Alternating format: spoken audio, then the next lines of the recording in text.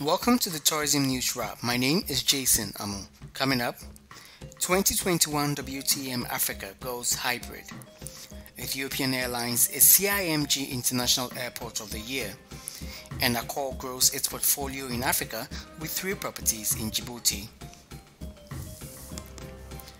The 2021 edition of World Travel Market Africa will go ahead from 7th to 9th April 2021 in the format of a hybrid event, delivering a significant ROI for exhibitors and providing a much needed platform for live and virtual connection between tourism industry stakeholders engaged in bringing business to Africa and Africa to the world.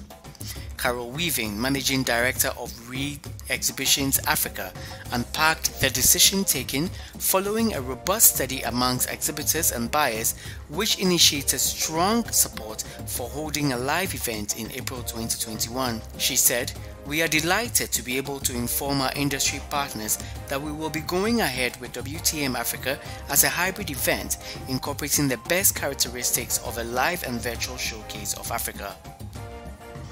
Ethiopian Airlines has been adjudged the Chartered Institute of Marketing Ghana CIMG International Airline of the Year 2019 at the 31st CIMG Annual National Marketing Performance Awards held over the weekend in Accra.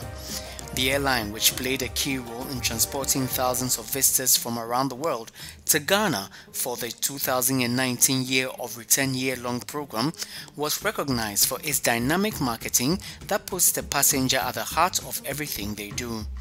Area Manager of Ethiopian Airlines, Yemestrach Ali Mayehu, thanked the organizers of the award for the recognition and stressed that the airline will continue to offer the best of on-ground and on-board service to the traveling public. We will continue to do more to delight our customers. The new Accra Lome New York service, launched in October, presents another fine opportunity for us to do this, she said. The newly opened Radisson OR Tambo Hotel in Johannesburg, South Africa, has treated some of the country's top influencers to a special pamper and wellness stay at the property. The Pleasure Hotel offered influencers the first-hand opportunity to experience the first upscale Radisson property in South Africa. The day was strongly focused on work-life balance to help influencers and the public understand the value and ethos of the hotel. The social influencers, numbering 14 and including LVMH award winner Thebe Magugu, had a fun-filled day exploring the facilities and interacting with hotel staff. We believe strongly in influencer marketing and we feel proud to rally around esteemed members of the community who are forging the way in business, lifestyle and social media, said the head of marketing and PR, Frances Litton.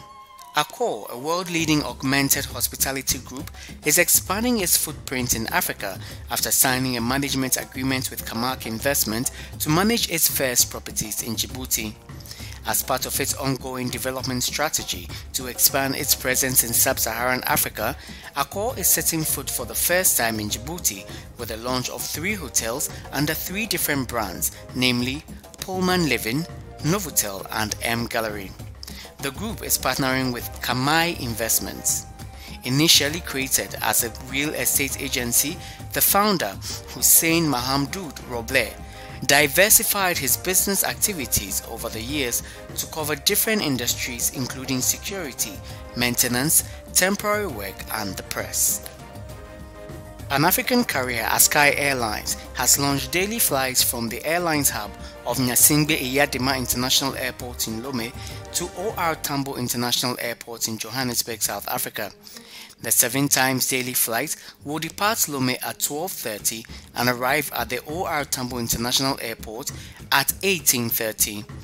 Ghanaian passengers will be able to connect with a 35-minute flight connection from the Kotoka International Airport.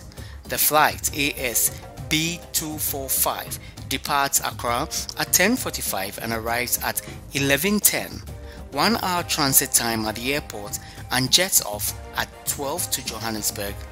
The Johannesburg flights operate daily and non-stop from Lome with immediate connection for passengers traveling from Accra with an extra baggage allowance for all passengers traveling between now and December 31st. The airline said promotional fares available for economy passengers, all taxes inclusive, are one way $383 and return $500.